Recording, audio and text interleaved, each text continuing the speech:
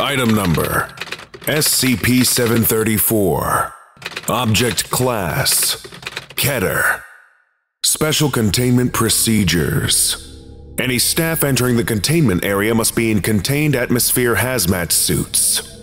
No physical contact is to be made with SCP 734. Anyone making physical contact with SCP 734 is to be immediately removed from the containment area and placed in quarantine for observation. Any items exiting the testing area must be sterilized before being allowed to exit the containment area. Blood is to be drawn via arterial catheter once daily, the amount to be determined, and reevaluated monthly. Catheter is to be cleaned and maintained three times daily. Blood drawn is to be immediately sealed, and the container sterilized before cryogenic storage. Blood may be stored for five years, after which it is to be incinerated. Requests to use drawn blood must be submitted to Overwatch. SCP-734 must have a handler standing by at all times in full hazmat gear, who is to be rotated every four hours. Interaction with SCP-734 is allowed only when in full hazmat equipment. SCP-734 is to be changed and fed as needed, with nutritional requirements reviewed and adjusted monthly. SCP-734 may be given toys with clearance from Overwatch. Description SCP-734 appears to be a male human infant, between 7 and 8 months of age. SCP-734 shows normal development and health for a child of his age and genetic background. No abnormal genetic mutations, infections, or rare cellular disorders have been found during any test, and no origin point or cause has been found for the effect SCP-734 has on human tissue. Any human tissue making contact with SCP-734 will begin to rapidly break down and flake away. This effect is most often triggered by skin-to-skin -skin contact, but any living SCP-734 cell can cause the effect. This flaking will begin at the point of contact two hours after exposure to SCP-734 and spread at the rate of 0.5 millimeters a minute. The means by which the flaking occurs is unknown, as no form of viral, bacterial, or chemical agents are passed by SCP-734 to the subject. Cells begin to lose physical cohesion, and small patches of tissue begin to peel away in flakes. The flaking begins in the tissue layer of contact, most often the epidermis, and will attack that layer exclusively for 5 hours. After 5 hours, the effect will begin on the next layer, and continue in this manner until all tissue layers are affected. This process is extremely painful and becomes progressively more debilitating as nerve tissue, blood vessels, muscle tissue, and skeletal structures are exposed and then eaten away by the effect. No treatments or procedures short of amputation of the affected areas have shown any success in halting the progression, with amputation having a success rate of 72%.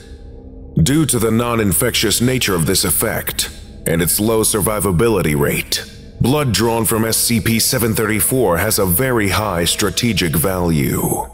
An arterial catheter has been installed to provide a constant supply of blood samples, which are currently being stockpiled and researched for possible application in Foundation activities, both covert and military.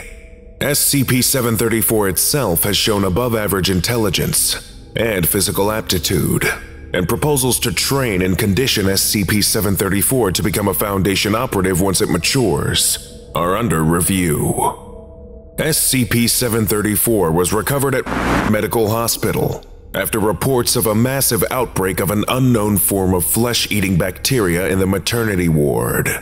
Foundation operatives quarantined the area and found several nurses, four doctors, and one infant affected by SCP-734. SCP-734 was isolated and contained after interviews with staff. The mother of SCP-734 was not found, and no records of her discharge from the hospital were found. It is assumed that she was affected by SCP-734 during birth and died from the effect. How she was able to carry SCP-734 to term remains unknown. Addendum Memo to Handler staff. This should not be necessary. A reminder will, however, be issued to all staff working with SCP-734 that full face masks are a mandatory part of the hazmat equipment needed for working with SCP-734 and may not be removed at any time while on duty.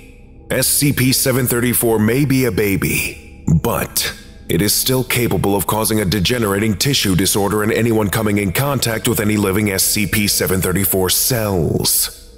This includes mucus. Agent M removed her face mask, stating, He's just a baby. I'm holding his hands. It'll be fine. SCP-734 then sneezed on Agent M's face, causing flaking to initiate from 26 points on her face and neck. Photographic records of the effect's progression upon her will be provided to any staff with questions or complaints related to SCP-734 and its containment procedures. Project Update Testing of SCP-734 at age confirms a 98% score on the Eislinger Loyalty Index. Entity has been approved for anomalous weapons training.